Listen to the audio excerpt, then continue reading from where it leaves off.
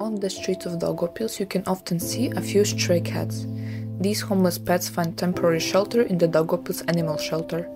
In recent years, it has become overcrowded due to people's inability to take care of their little friends or simply because of irresponsibility. The shelter often lacks both space and resources to ensure the comfort of the animals. Kittens are left without mothers, many have to live without a sense of security or love. The workers have no choice but to hope for the arrival of caring owners after those in the shelter. In order to give the Riverside a chance to come to life, our team Inspiration Box offers a project The Lost Cats. The main goals of this project are to create a sustainable tourist attraction, to visit the promenade and thus give the abandoned animals a chance to find good homes. Walking along the newly created promenade of Brugge Street opens up not only beautiful views of nature, but also a feeling of solitude. Not all visit visitors have the opportunity to share these moments by the river with their loved ones. The peace of the walk becomes too quiet within the grey pavement and railings. Therefore, on this walk, the new residents of the promenade will accompany the vacationers who, just like us, were looking for peace by the riverside from the noisy city.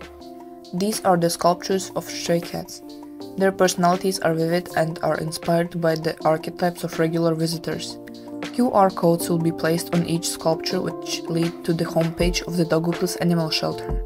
In total, 12 3D cat sculptures are placed around the perimeter of the Daugavpils promenade a cat mother, a mermaid, a cyclist, a scared cat, a cat with an umbrella, a retired couple, a cat with a frog, a fisherman, and as well as depictions of the three authors the, of the project in the form of cats.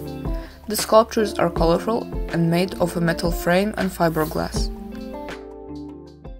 But these cats are not here without a reason.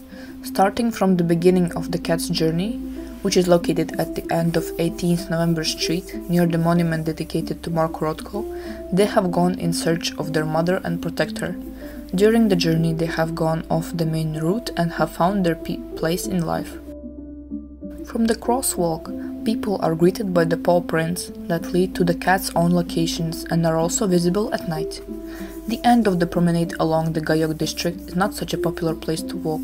The sculpture of a mother cat, which places on itself advertisements of pets that are lost or looking for new homes, gives a unique destination and motivation for vacationers to go to the end. This sculpture complex gives people an incentive to lend a hand to someone lost in the course of life.